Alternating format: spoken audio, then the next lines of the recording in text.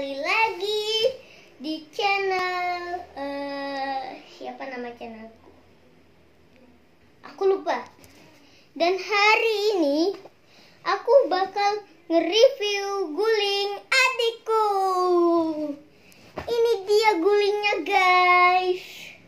Ini adalah guling yang gambarnya itu hewan-hewan. Dan ada satu lagi, guys. Ini gambarnya hewan juga.